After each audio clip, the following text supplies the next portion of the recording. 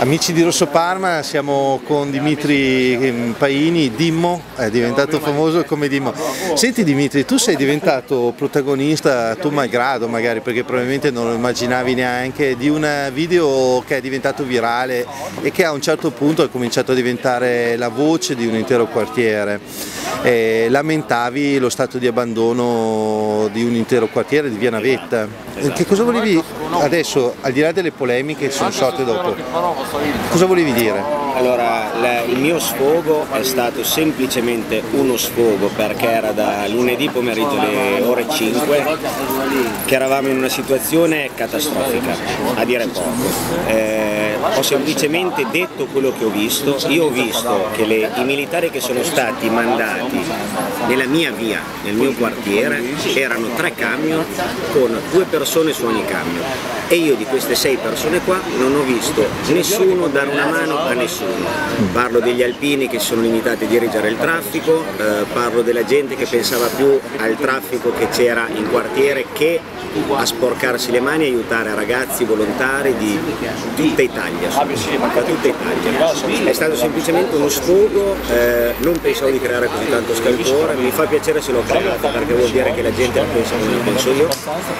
e con questo non so cosa posso dire, se c'erano altri militari che hanno lavorato, io non li ho visti, quindi io parlo solo delle persone che ho visto. Con questo non so, poi la persona che mi ha fatto il video io non la conosco, è stato un incontro casuale, ha chiesto di riprendermi mentre mi sfogavo, semplicemente accettato. Senti Dimitri, tu sei diventato protagonista anche in un secondo momento, cioè sulla, in virtù del grande successo di visualizzazione del tuo video, cioè oramai penso che stia andando intorno al milione di visualizzazioni. Mi hanno detto così. Eh, eh, sì, ho controllato ed è più o meno a quota un milione, che per una città da 500.000 abitanti, Parma e provincia, vuol dire che ce lo siamo visti tutti almeno due volte. Sei diventato, in virtù di questo, protagonista un po' a due facce della serata di Ballarò. Ballarò un collegamento che deve dare voce alla, alla, al quartiere, alla cittadinanza, è un quartiere che poi a un certo punto è stato tacitato un, perché comunque questo servizio è andato in onda. Eh, che cos'è accaduto quella sera lì? Che cosa ti ha urtato? Che cos'è che in realtà Ok, eh, allora innanzitutto tengo a precisare che nessuno ci tiene, almeno per quanto mi riguarda, a finire su giornali, eh, televisione, a me non mi interessa niente. Sono stato contattato perché hanno visto questo video, eh, non so in che modo, e mi è stato chiesto se era possibile farmi delle domande in un'intervista che sarebbe andata in onda con Ballarò.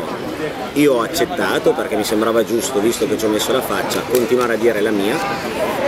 Al momento della, della diretta eh, c'è stato come imposto eh, di dire determinate cose che noi non volevamo dire, su argomenti che a noi non interessavano, cioè casse d'espansione, spreco di denaro pubblico. Io volevo semplicemente dire quello che tutti hanno visto non c'è stato permesso, c'è stato detto che ci siamo presentati vestiti troppo puliti e di conseguenza io ho guardato la giornalista e gli ho detto se voleva vederci sporchi doveva venire una settimana prima. Poi dopo improvvisamente hanno detto che la scaletta era saltata da Roma e non hanno più dato possibilità a noi che abbiamo vissuto nel fango per 5-6 giorni di dire quello che realmente serviva da dire. Con questo non so se è un programma che doveva dare la voce al popolo, come mai a noi non ce l'ha data se siamo diversi da tutti gli altri. O se era solo per Farodias che dovevamo venire vestiti sporchi non mi è sembrato giusto. Senti Dimitri e adesso il quartiere l'impressione eh, scusate se sono così brutale, io normalmente vado direttamente al sodo. La mia sensazione è che in un certo senso aver partecipato tutti ed essere stati così efficaci nelle pulizie possa diventare quasi un danno, nel senso che il sistema di rimborsi, il sistema il grado di, di, di il grado di eh beh no questo è un quartiere popolare lo godo da Dio. In realtà la mia impressione è che essere stati troppo bravi potrebbe quasi essere un boomerang in termini di rimborsi. Mettersi a piangere di più piangere il morto tra virgolette scusa l'espressione così cattiva. Adesso siamo tutti belli siamo tutti puliti tanti saluti, è stato bello, ciao. Esatto, guarda, io ho, come la sensazione che molta gente non abbia capito realmente la gravità della cosa che è successa, perché nella fortuna c'è stata la sfortuna che è stato colpito solo una parte di questo quartiere, quindi molta gente che era al di fuori non si è resa conto della gravità.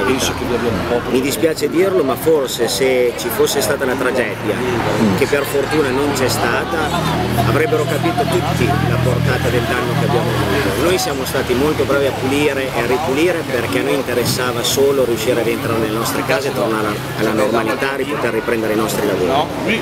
Eh, se questo è stato visto come ok avete ripulito, noi di danni non ne vediamo, quindi di soldi non pensiamo che avete avuto così tanti danni.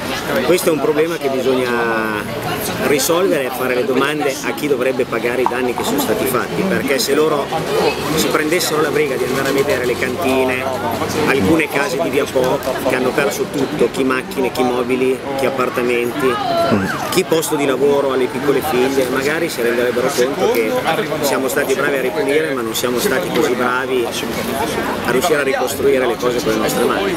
Qua ci servirà un aiuto. Posso concludendo farti un'ulteriore domanda e con questa chiedo.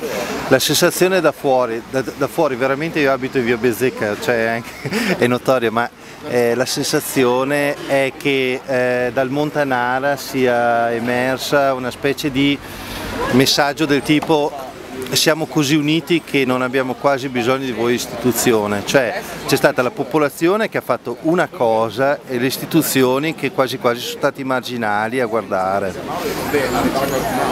Esatto, forse perché il bello di questo quartiere è che siamo un quartiere estremamente unito, legato, giovani, vecchi, meno giovani, meno vecchi, purtroppo sì, è come dici te, sembra quasi che questo è un quartiere talmente unito che non abbiamo bisogno di aiuti da nessuno, quando in realtà questo è un quartiere così unito perché è un quartiere che è nato come quartiere povero. Poi noi siamo stati col tempo bravi a farlo diventare meno povero, però rimane sempre il fatto che siamo un quartiere come tanti altri, che qualsiasi quartiere ha E con questo penso abbiamo esaurito l'argomento, volevo solo darti una voce, tutto a